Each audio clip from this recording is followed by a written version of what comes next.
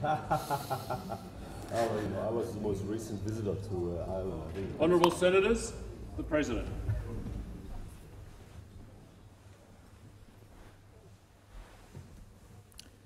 Almighty God, we humbly beseech Thee to vouchsafe Thy special blessing upon this Parliament, and Thou wouldst be pleased to direct and prosper the work of Thy servants to the advancement of Thy glory and to the true welfare of the people of Australia.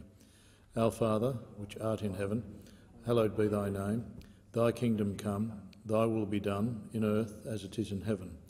Give us this day our daily bread, and forgive us our trespasses, as we forgive them that trespass against us and lead us not into temptation, but deliver us from evil. For thine is the kingdom, and the power, and the glory, for ever and ever. Amen. I acknowledge the Ngunnawal and Ngambri peoples who are the traditional custodians of the Canberra area and pay respect to the elders past and present of all Australia's Indigenous peoples.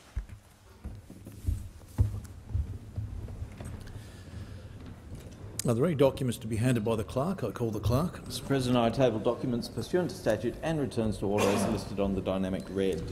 Are there any proposals for committees to meet during the sittings of the Senate? Again, I call the clerk. Mr President, committees have lodged proposals to meet as indicated at item 4 on today's order of business. Does any senator wish to have the question put on any of those proposals? There being none, Senator Di Natale. Mr President, um, I seek leave to move a motion relating to climate change. Is leave granted? Leave is not granted, Senator uh, Di Natale. Mr President, I move that so much of the standing orders be suspended as would prevent me moving a motion to give precedence to a motion relating to climate change. Uh,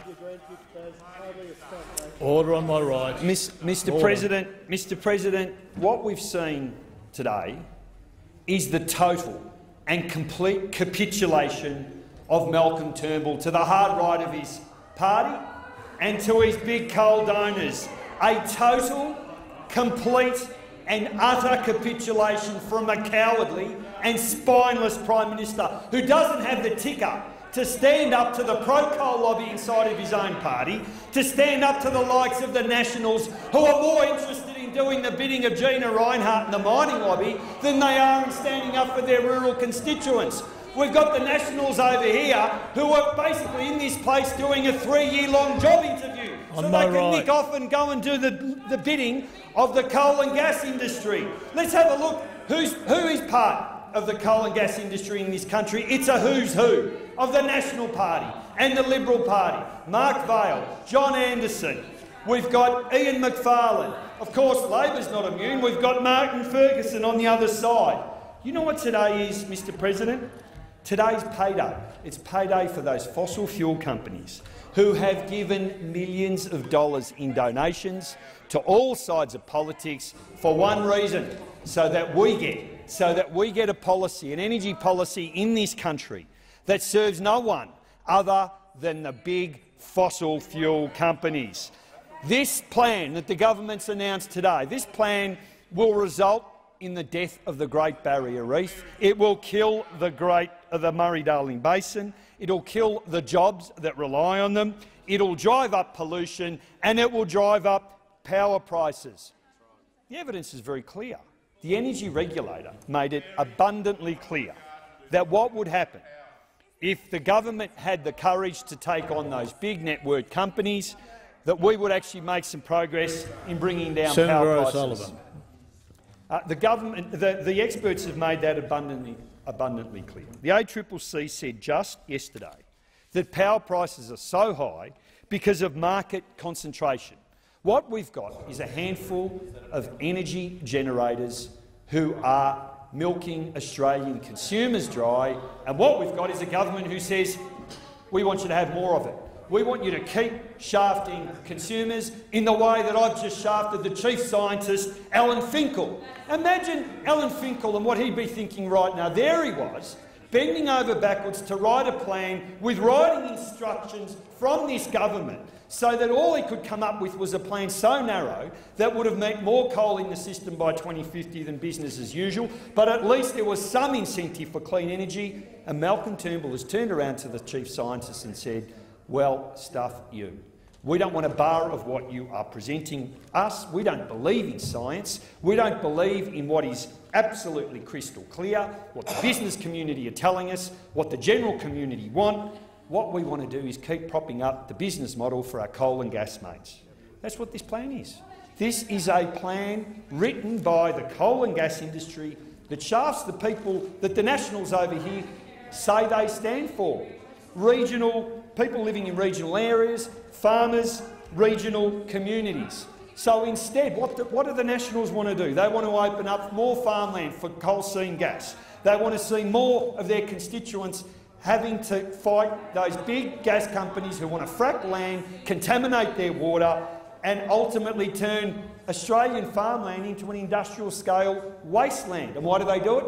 Because they're in the pocket of the coal and gas industry. They get those big cheques riding in. That's why you see Barnaby Joyce taking international flights with Gina Rinehart. Senator Di rather than Senator stand- Di um, could you refer to members in the other place? I've allowed you uh, on uh, more than one occasion now to refer to members incorrectly, so please refer to members by their correct title. That's why we see the Deputy Prime Minister, Barnaby Joyce, flying around the countryside with the likes of Gina Rinehart because he's more interested in doing the bidding of the mining and gas industry than he is in looking after farmers. The bottom line is that we have got thousands of jobs that are being sacrificed right now because of this government's commitment to the coal and gas industry. What we're doing is we're losing that great innovation here, going overseas, because we're locking ourselves into the sinking ship of fossil fuels. That's what it is, and it's a huge tragedy because this could be a good news opportunity for Australia. We could be talking about bringing in jobs and investment and making sure that we've got uh, a pathway for those people in regional communities. Instead, what this government has done is they've locked us into rising power prices, losing jobs and emissions skyrocketing. This is a disgrace and the Prime Minister should hang his head in shame. Thank you, uh, Senator Di Natale. It would be helpful, Senator Di Natale, if you could provide in writing uh, the words of your motion. Happy to do Uh, that. would be- Thank you. Uh, Senator Brandis. Well, thank you, Mr President. Another stunt from the Greens. Another stunt from the Greens. All of this uh, outraged, c- confected outrage from Senator Di Natale pretending to be the friend of working Australians. Pretending to be the friend of working Australians, this wealthy medical practitioner who lives in inner city Melbourne, retreats to his hobby farm for, for, for the weekend, uh, every gesture, every posture of a left-wing hipster, pretending to be, uh, pretending to be a champion of working Australians. Well, Senator Di Natale, I tell you what working Australians want. They want affordable energy, uh, electricity prices, and they want reliable supply. That's what they want, and there is only one political party represented in this parliament that will give it to them, and that is the government parties, the Liberal Party and the National Party. Now, Senator Di Natale, you spoke about an announcement. There has been no announcement, so your entire speech is based on press speculation that you have no doubt tried to trick up into a, a, a- into a speech.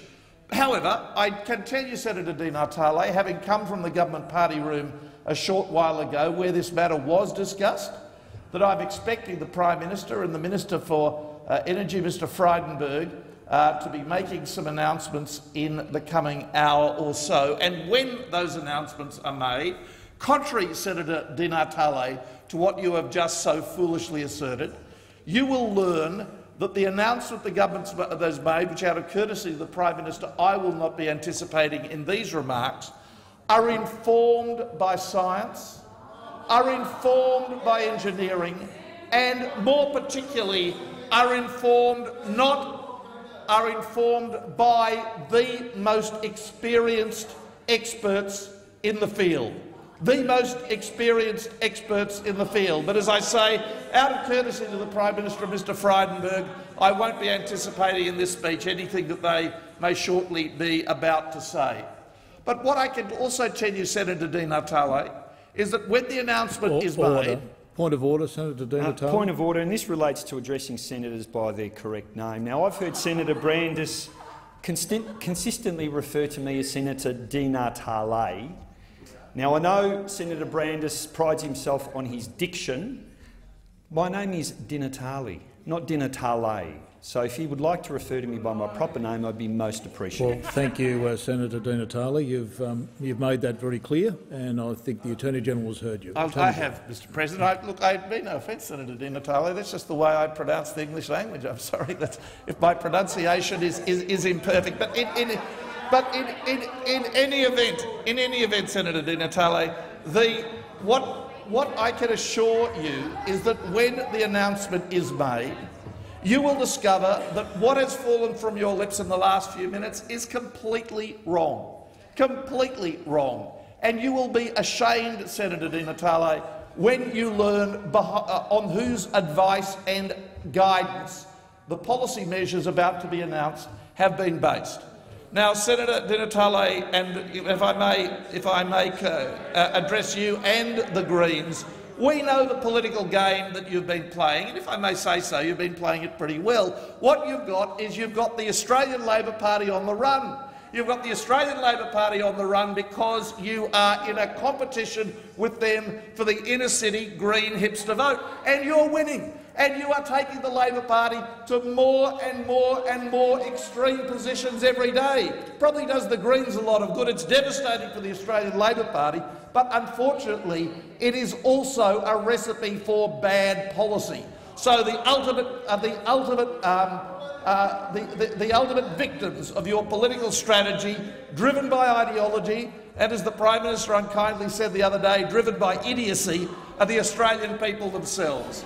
We will be announcing a suite of measures, the effect of which will be to reduce electricity prices and guarantee reliability of supply.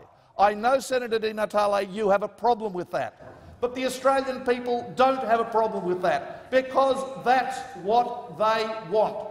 They want their electricity prices reduced and the reliability of their supply guaranteed, and that is precisely what the effect of the measures the Prime Minister is shortly to announce will be.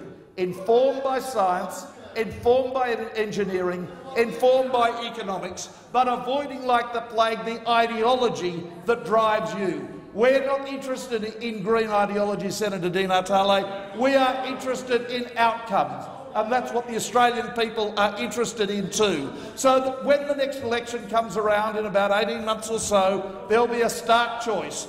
The Green Labor Party alliance, higher electricity prices and in, insecure supply, or the government's policies, lower prices Thank you, and secure Attorney supply. General. The time for your contributions expired. Senator Gallagher. Uh, thank you. Thank you, Mr President. And I, after those very unkind remarks by the Leader of the uh, Government in the Senate, I feel like changing Labor's position on, on this uh, suspension. However, um, for good reasons, I think the Labor Party will not be supporting the suspension of standing orders today. I would point out that it, it seems like it's every at the beginning of every Tuesday of every sitting week we have a suspension motion uh, by the Greens Party to uh, on the on the issue of the day to chew up to chew up time um, and without much notice, I say probably 10 minutes notice to other other parties that they are are going to be moving that suspension. From Labor's point of view, this is um, premature uh, to to basically debate or to have a debate on a motion that condemns the government's latest energy announcement when that uh, announcement hasn't actually been made. And don't get me wrong, um, in terms of the failure of the Turnbull uh, government on energy policy, um, you know, we can debate that for hours, and we would look forward to debating that. We would look forward to debating the dumping of the work of the chief scientist um, at the behest of uh, the former Prime Minister. For four years, this government has trashed energy policy. It's turned itself inside out, fighting each other on climate change and energy policy.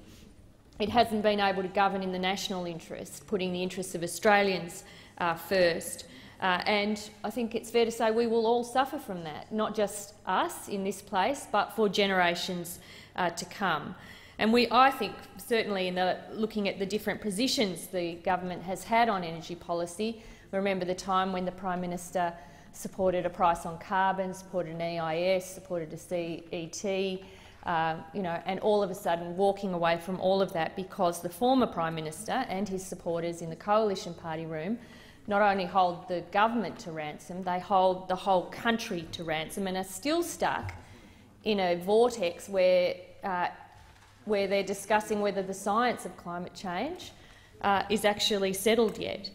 Uh, we will need to see the detail of the next iteration of the government's energy policy prior to uh, debating it in this place.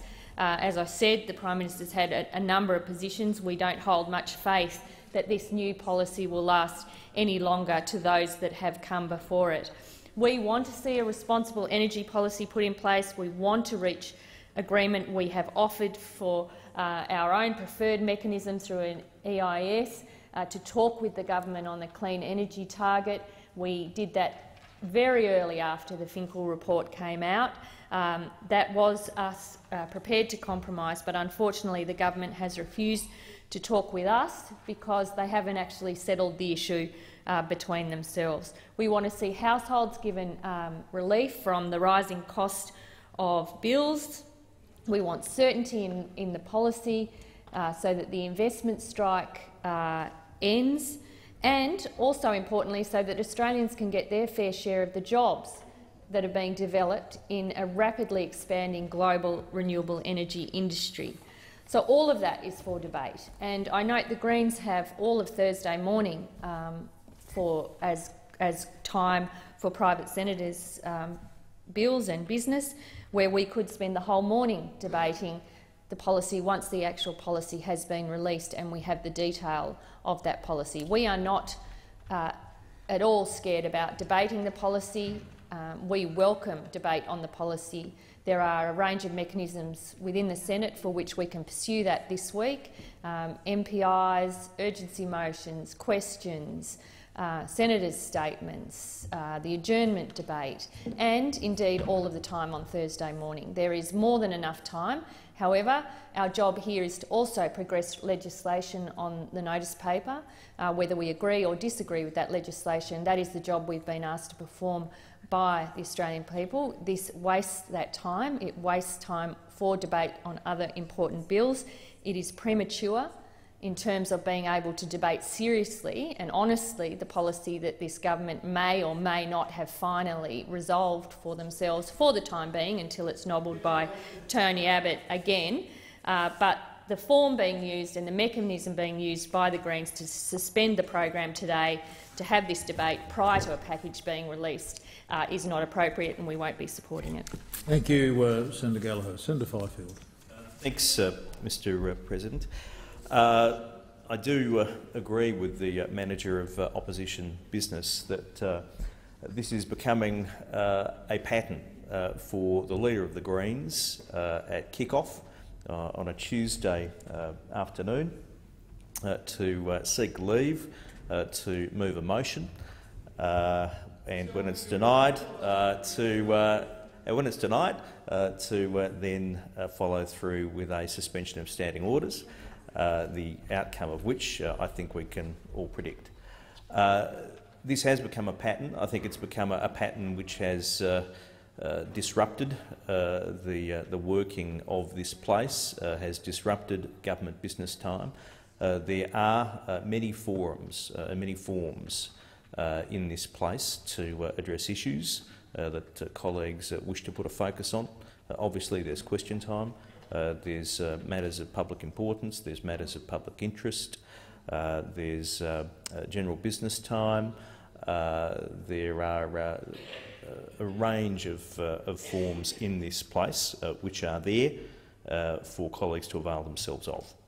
so that's the, the, first point, that this is not the time, this is not the opportunity to seek to ventilate these issues. The second point I wish to make uh, Mr. Uh, President, is uh, that uh, the leader of the Greens uh, is seeking to debate uh, matters uh, which are yet uh, to be put into the, the public domain. Uh, obviously, it's a matter of record that the government has agreed to 49 of the 50 Finkel recommendations and that we are going through our internal processes to, to look at other matters that Mr Finkel touched upon. Uh, and, uh, Mr uh, President, uh, as the Leader of the Government in the Senate uh, averted, uh, it is highly likely that we will have more to say in, in the coming hours. so this would be a, an odd time to have a debate for the chamber not to be in possession of what the government has to say later today. I also think, Mr President, it's worth just pausing for a moment to uh, reflect on uh, what the government has done uh, on the issue of energy. Uh, we're absolutely uh, seized uh, of the uh, importance of reliability, the importance of affordability uh, and the importance of uh, meeting our international commitments. since we've been in government, we have abolished the carbon tax, which is the single most significant thing to address affordability and uh, Mr. Uh, Mr. Uh, President, I don't hear uh, calls from the community uh, for that to be reintroduced. we have obviously made our commitments in Paris, which we intend to honour. we have put in serious work uh, with the energy retailers uh, and as a result uh, consumers have been written to uh, advising them uh, that there are better deals available and that they should take advantage of those and many Australians have done just that. Uh, we've also taken steps in relation to the domestic gas supply to ensure that that is met and that there is downward pressure there. Um, we have obviously instituted the, the Finkel uh, review, uh, which, uh, as I mentioned, we've adopted 49 of the 50 uh, recommendations. Uh, the Finkel, uh, the, the, Finkel review recommendations went to COAG. they then went to the energy ministers, and the energy ministers collectively adopted 49 of the, the 50, and we now have an internal process underway, which we'll have more to say about shortly. Uh, Mr President, uh, on this side of the chamber, uh, we don't take a, theological or an ideological approach to uh, energy policy. Uh, we look at the engineering, uh, we look at the economics, and we have um, we have a plan already, which is before the Australian people, and we'll have a little bit more to say very soon. Uh, about uh, the next uh, iteration of that. but, Mr President, the Greens have not made a compelling case for the suspension of uh, standing orders uh, this morning. Uh, there are forms uh, in this uh, place to address issues, and we will all have the benefit of what the government has to say a little later today. Thank you, Minister. Senator Hanson-Young. Thank you. Well, we've heard clearly from the former Prime Minister himself, Tony Abbott, progress today at progress at today's party room, clean energy target has definitely been dropped. Well, you can see who's in charge here, uh, Mr President. Tony Abbott, former Prime Minister, back running the show over there on the other side. And of course, what have we had announced? The National Energy Guarantee, the NEG. Well, I tell you who's been negged, Mr President, and who's negging. It is Tony Abbott, former Prime Minister, negging, negging Malcolm Turnbull. Do you know what a neg is, Mr President? It's a trick. It's designed to undermine somebody's confidence. This is exactly what is going on inside the coalition party room right now. Ten years the former Prime Minister spent 10 years trying to destroy climate policy in this nation. 10 years on, he delivers again another wrecking ball right through the renewable energy industry, right through households who have done the right thing, put solar on their roof, embracing clean renewable energy to bring down their power bills. This is an attack on Australians right across the country. Right across the country. Malcolm Turnbull has capitulated. He's been negged by Tony Abbott, and it's going to be Australians, householders and businesses that suffer. This is a terrible, terrible day for climate change, for the planet and householders who want lower bills. Nothing announced today is going to reduce people's power prices. That is the only guarantee we've got. Thank you. Senator Siewert. I'm outraged at this policy. I'm outraged that George Brandis could call what we are trying to bring this Senate's attention to a stunt This is about the future of the planet. This is about the future of our children and our grandchildren. And he has the audacity to call it a stunt. I'll tell you what a stunt is. The Prime Minister's a weak attempt weak attempt to pretend to this country that he is doing something about climate change, that he is doing something about power prices. No, he isn't. He is just pulling a stunt to try and appease Mr Abbott. Mr Abbott, who thinks climate change is good for this planet, who is a laughing stock around the world, Mr Abbott is the guy who wants to, to throw goats in the volcano. He's the, the one that is trying to undermine how the globe responds to climate change. Mr Turnbull owned, fully owned by Mr Abbott and big business, who want nothing but to make a few short-term profits at the, at the risk of future generations. That what, that's what this debate is about. And all the, the coalition can respond to is that, oh, this is a stunt, because they don't want to own up that they have com completely capitulated and own the fact that we will never meet our, our Paris targets now. We will not. They have handed the, the, they have handed climate change, totally policy, totally to Mr Abbott now. They're the flat earthers of this country. They should hang their heads in shame rather than coming in here and try to justify their appalling policy. They are setting us back decades. They are condemning this planet.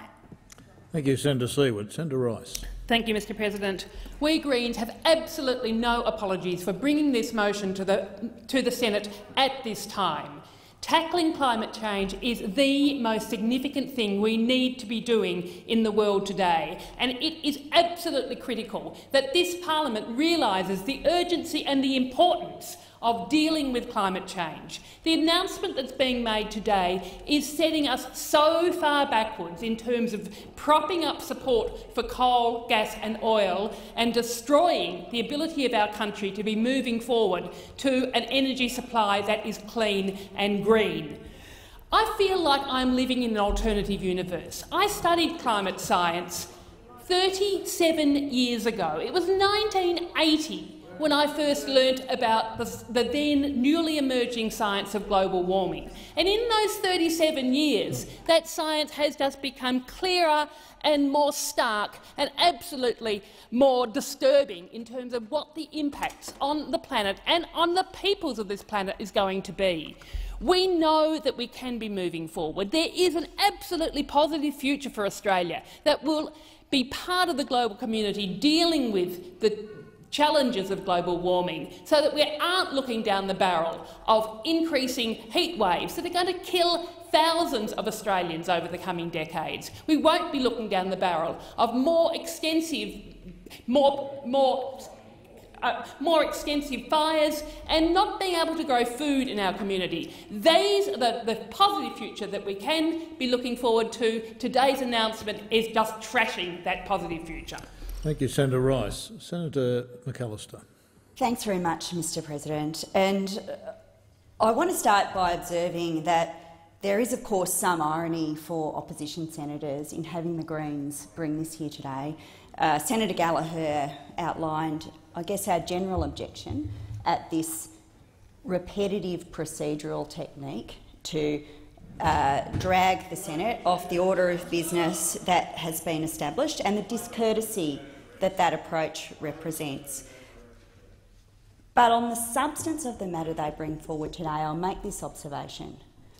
We would not need to be having this debate today if you had brought yourself to vote for the CPRS when it was brought into this chamber so many years ago. There were opportunities, and have been many opportunities in the last decade for you to support a serious emissions trading scheme proposed by a Labor government committed to tackling climate, change, but you squibbed it. You squibbed it for a range of reasons, but my deepest suspicion is that you did so because it was electorally convenient for you. It was electorally convenient for you to maintain a point of differentiation with Labor. And if that meant throwing away the one opportunity that you had to establish a coherent global approach to tackling emissions reduction in this country, that was a sacrifice you were willing to make. It was a sacrifice you were willing to make for base political reasons. Absolutely base political reasons. And you ought to be reminded of it every time this chamber comes back to climate change. I have spent a decade of my life fighting for rational climate change policy. I'm horrified. I am horrified at the debate that this nation has gone through over the last 12 months, and I'm genuinely surprised to see a coalition government unable to commit to even basic principles of policy design around the national energy market. It's been hopeless, it's been embarrassing. But I will say this, the Greens have not helped. You have spent a decade trying to politicise this for your own purposes, and it has been at the expense of serious policy debate in this country. And there's no good laughing and calling out because everybody understands this to be true.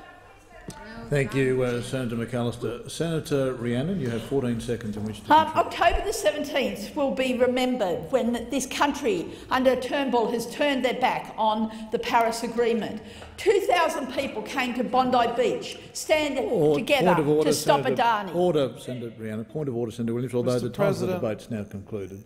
Why does Senator Rhiannon refer to the Prime Minister as Turnbull? I mean, this is totally unacceptable. This is a common thing we complain about the Greens with their lack of respect for people in this place and the other place. Thank you, Senator Williams. Senator Williams uh, reminds us all uh, that we need to address people in the other place and indeed in this chamber by their correct titles and their correct uh, positions or names. Uh, the question now is the motion moved by Senator Di Natale uh, to suspend standing orders be agreed to. Those of that opinion say aye. aye. Those against say no. I think the noes have it. Division required. Ring the bells.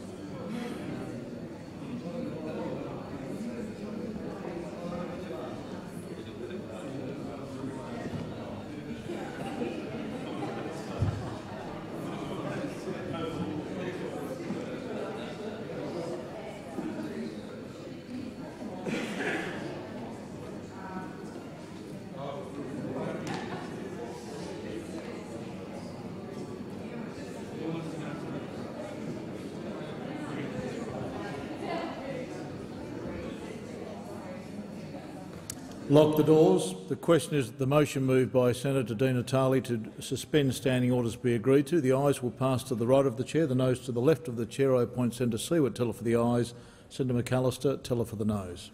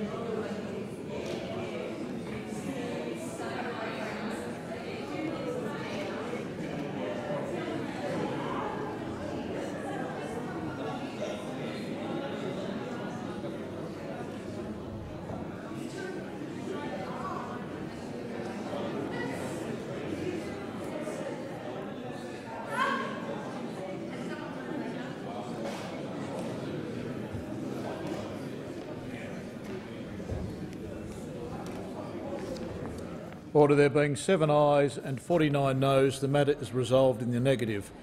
I call the clerk. Order. Senator Whish-Wilson. Thank you, President. My question is to uh, Senator Brandas, representing the Prime Minister. Oh, sorry, uh, Brandis. That's just how I pronounce it, Mr. President. Uh, Your question, Senator Whish-Wilson. On my right. Shall we say the English language, Attorney? Order. Order. A key criticism of the National Energy Guarantee, the NEG, is that emissions guarantee is not linked directly to the absolute emissions needed to meet our Paris targets. I note that a long-term emissions reduction pathway is recommended by the Finkel report.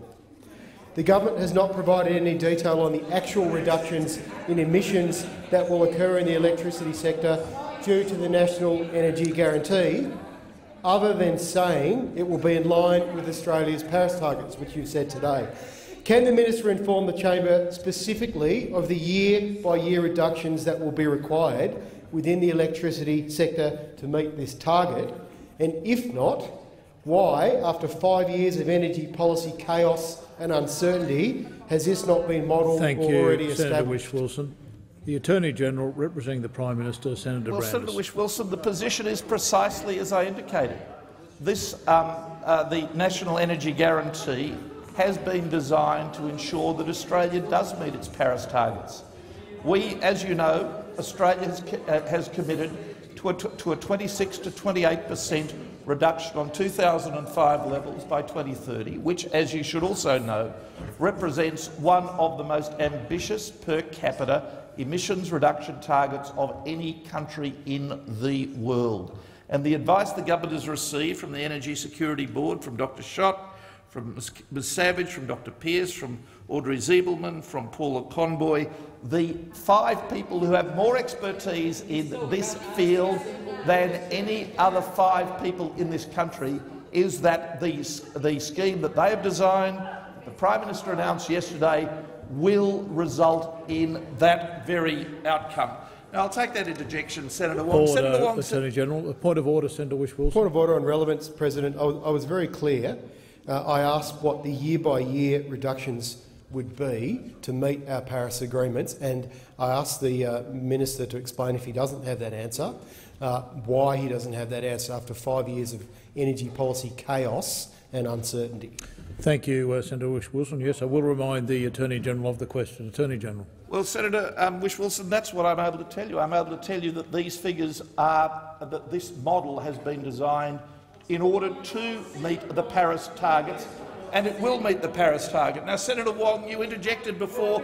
Poor old Dr. Finkel. Poor old Dr. Finkel. This is what Senator Wong poor old Dr Finkel, as you patronisingly call that gentleman, had to say yesterday, quote, the final thing I would say is what we have now and for the first time is strategy. We've previously had some tactical Order, responses. We've had some policies, order, but by bringing order, Senator Whish-Wilson, a, a, point of order. An additional point of order on relevance, uh, President, but perhaps if I could suggest something a little bit different uh, that Senator Brandis defers to Senator Birmingham if he doesn't know the answer to that question. Well, thank you. That's a matter for the Attorney-General. Um, and uh, in addressing the point of order, the Attorney-General did remark that he was giving you uh, the commitment to the Paris Agreement in his previous answer.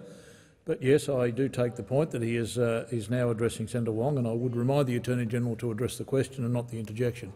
Attorney-General. Well, I've taken the interjection, Mr President, as I think I'm at liberty to do. So this is what Dr Finkel went on to say. What we have now, and for the first time, is strategy. We've previously had some tactical responses, we've had some policies, but by bringing all of these together, we're finally taking Australia's energy future backed up by gas and other elements of the electricity system, into a strategic zone, and that's a great thing to see. We welcome Dr Finkel's Thank endorsement. You, Attorney General. Order on my left. Order. Senator Whish-Wilson. None of us enjoy seeing your rulings being ignored. Uh, my second question. As part of the Paris Agreement, next year the world will begin assessing progress towards the Paris target and start discussing around increasing the ambition of every nation's targets. This is called the ratchet effect. It's been reported this morning that the Turnbull government has essentially set a cap at its current Paris target of 26 to 28 per cent by this policy. Uh, is this true? And if not, how do you guarantee under the NEG to rapidly increase cuts in our emissions and meet new standards? Attorney General. Well, Senator Whish-Wilson, um, the Australia's commitment to the Paris targets, as, I, as I've outlined to you, I haven't seen uh, the statement made by someone you've uh, referred to this morning, but Australia's commitment to the Paris targets is, as I've indicated to you, and as I've indicated to you, the National Energy Guarantee has been designed to enable Australia to meet its Paris targets. Now, as I also said in answer to a question from an opposition senator, uh, by 2030 the uh, estimated um, uh, uh, proportion of renewables in the system will be up to 36 per cent, which you would acknowledge is a significant increase on the percentage of renewables in the system now. You see, Senator Whish-Wilson, your party and mine have different outcomes. Our objective, our objective is to keep electricity prices lower. That is not your objective. It is not your objective, and that is a big difference. And unfortunately, for the Australian people, you've got the Australian Labor Party chasing Thank you, you. Attorney General. The time for answering the questions has expired. Final supplementary question. Senator Whish-Wilson. David Blowers in the conversation today stated that this new national energy guarantee is a second best option and that our previous working carbon price was the best policy option as it avoided the need for a complicated emissions and reliability guarantee. Your Energy Stability Board has recommended that Australian carbon credit units and international units could be permitted to meet a proportion of the retailer's guarantee. Minister, have you actually returned back to carbon trading, and what proportion of Australia's emission reductions will you allow Thank to be you, achieved by Senator international Whish-Wilson. carbon the time credits? for asking the question has expired. Attorney General. Um, no, Senator Whish-Wilson, that is not the case. And Senator Whish-Wilson, if you want to quote third-party commentary on the announcement the Prime Minister made yesterday, might I direct you to the overwhelming weight of the commentary, which has been to support and indeed to applaud the government's decision. So, in the Fairfax, in, in, in the Fairfax press, the commentator, Mr, the economics writer, Mr. Peter Martin, to celebrate out of the ashes of failed attempts, finally a chance to put the climate wars behind us. Likely, and similarly, in the News Limited press, the distinguished commentator Paul Kelly made the observation in his opinion article this morning that the only people who will object to the policy that the Prime Minister announced yesterday are people on the extreme edges of the debate. That is a very good position for a government to be in. As, as I said to you before, Senator Whish-Wilson, our objective, of which we are not ashamed, is to keep electricity prices as low as we can Thank get you, them. Attorney General. Senator Brock.